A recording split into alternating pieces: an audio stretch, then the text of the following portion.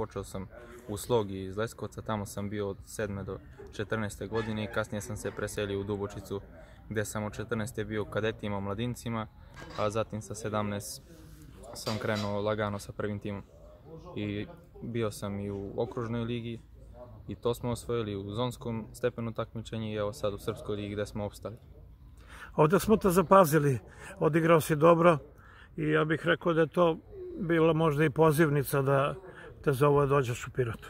Pa da, i pre toga nekoliko ključnih golova, na primjer Temniću i ovdje dobra utakmica, dobar teren naravno, motivacija za svakog mladog futbolera. Upravo to kako si ovdje primljen, kako se osjećaš, otac ti, ti je bio futbaler, e, dakle to je od oca na sina.